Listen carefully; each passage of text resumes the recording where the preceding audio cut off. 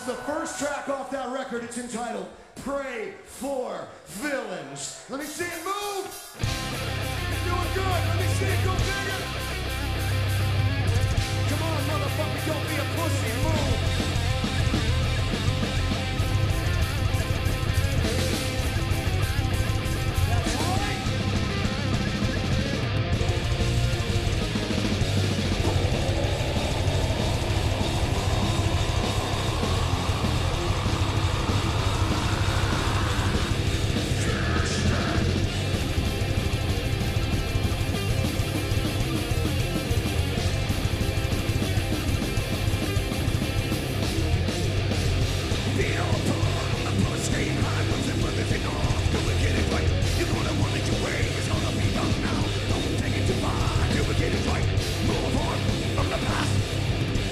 Make some